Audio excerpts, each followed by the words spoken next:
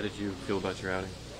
Man, I feel, except for the last inning, I got behind on the count. I came back to strike two and two and throw that change. That change I just went like two seamer, just got a little bit inside, setting goal down. But um, I think there was uh, it was good. I just holded the game right there.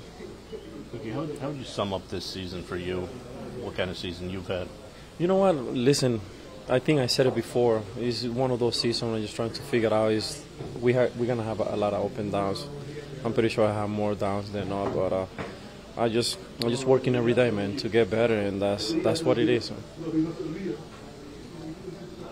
you thought about it all? I mean, you're a free agent after this year. Mm-hmm. What's going to come next? You know what, man? I'm just trying to finish my season strong, and um, I wish I can I can think about in the future, but not. I just I just want to finish here and strong.